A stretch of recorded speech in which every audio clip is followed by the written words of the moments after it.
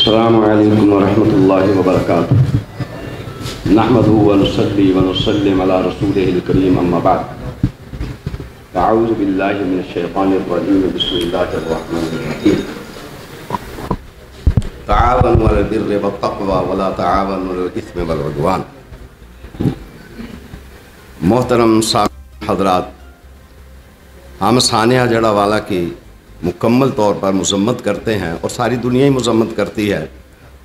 और हम इसलिए मजम्मत करते हैं कि नबी करीम सल्लल्लाहु अलैहि वसल्लम का पिछले दिनों डी पी ओ ऑफ़िस में एक मीटिंग हुई, उसमें आप सल्लल्लाहु अलैहि वसल्लम का बाबरकत ख़त एक पढ़ के सुनाया गया। मसाजद इनके लिए खोल दी और उनने कहा, और बल्कि पूरा तहफ़ फराम किया है हदीस मसाजद में।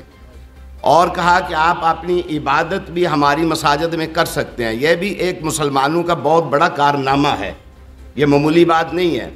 हम अपने अहल किताब मसीह भाइयों से ये कहेंगे कि हम आपके साथ हैं, हम वक़्त हर कीमत पर आपका तहफ़ हमारी ज़िम्मेदारी है और हमारा तहफ़ आपकी ज़िम्मेदारी है। हम सारे ज़िम्मेदार लोग हैं। ये नहीं है कि एक मुसलमान जो है किसी मुसीबत में हो तो आप कहें, जी, मुझे क्या गरज है? और हम कहें, कोई हमारा मसीही भाई किसी मुसीबत में हो तो हम कहें कि हमें क्या गरज है? नहीं गर्ज है हमें। हम सब आदम की औलाद हैं सब आदम के बेटे हैं, और सारे इंसान हैं। कुरान क्या कहता है? अगर किसी आदमी ने एक इंसान को कत्ल किया तो उसने गोया पूरी इंसानियत को कत्ल कर दिया है। यहाँ मसलक का मामला नहीं, मज़हब का मामला नहीं, इंसानियत का मामला है।